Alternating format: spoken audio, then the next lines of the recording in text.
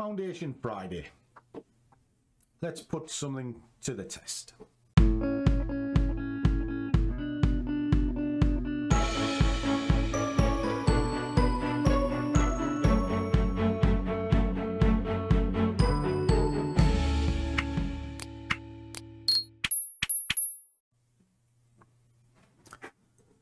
And a warm welcome to one and all. For those of you not seen me before, my name is Langers. I am the Scruffy Trader. And what I'm doing today is kind of putting into practice something that we've spoke about in the foundation this week. And if you're not sure what the foundation is, it's just me putting a series of videos together. Uh, some are public, some are for the Scruffy Squad, but they're all together and you'll be able to use them as reference points. They're just quick and punchy. And then on Friday, I kind of try and put into practice what I was talking about. So let me fire the screen over and we'll have a little look. Now I've pulled up the DAX simply because it moves quick and the idea is just to get maybe five, ten pips out of it looking at the principles I was talking about. So this week in, or at least it will be in just a second, there we are. Um, it started. So this is the Discord group that I run. Uh, you're very welcome to come along and see it. And within it, I did an introduction as to what it is.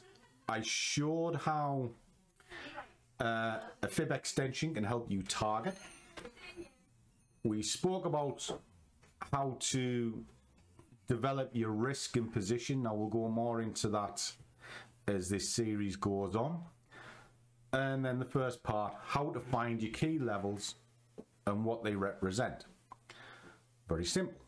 Well, there's your key levels mapped in from how I showed you. And there is an execution target based on a fib extension. And the idea is you can see it's broke the level. We are waiting for some form of a, a retest and then push up. Um, and that is it. Now you can do a couple of things here because you know what you're looking for. You know your momentum is to the upside or you believe it's to the upside. Why? Because it's broke the level and you can see the volatility within it. All right. Now that's on the one hour. Take this down to a five minute. And sure enough, you can see all of that. Now there was already a big surge up, sold off, and then it's recovered. So that tells you the sellers are not powerful enough to push this market down. The buyers are in. So what you can do, we can just quickly drop an order in. Uh, we'll just do a pound a point for 10 pips just like so very very simple and that'll get us to the tops of there but why am I not targeting all the way up here why that is an extreme target you know that's the outer limit of where I think this market might push to however I don't want it to be sort of stressed and hassled. I want an easy trade.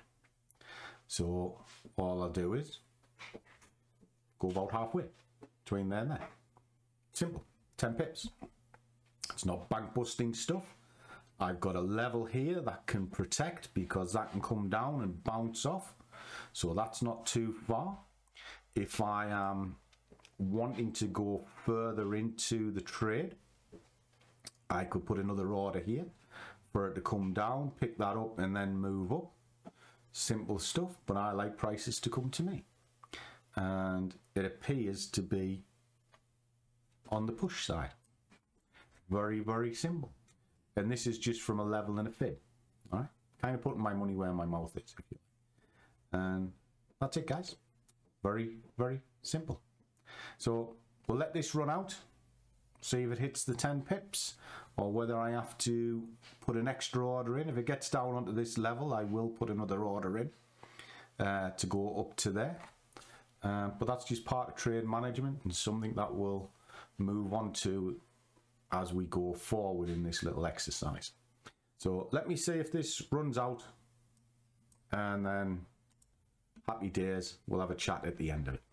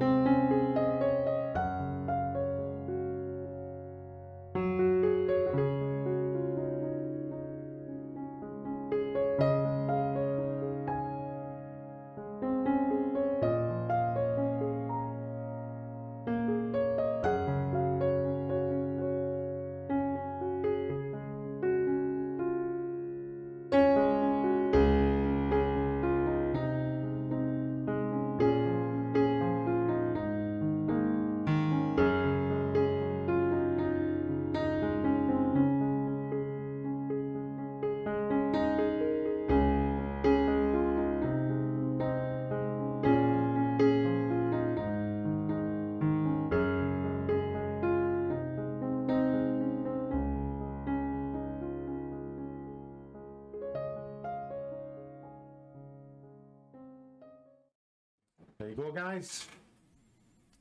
Job's done. So what i'd I done? I'd taken an extension from a prior move, which was that. Have some key levels in to give me an idea of how the trade might play out. This gave me a target point. Try not to be too greedy so midway, 10 points. And then also using the level as a secondary bounce point if it went against me. And if you looked at it, the trade didn't go against me very much. Well planned, well executed, and it's paid me.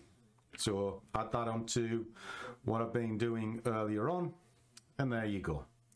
You know, very, very simple trade. Okay. Happy days. Happy days. So that'll start your foundation going. Um, do keep your requests coming in.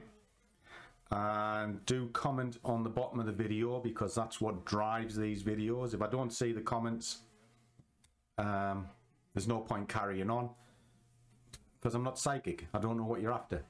Uh, very, very simple. And that's that. So trade well, keep your risk managed, but above all, do what you love and the money will follow. See you all in the next one, guys.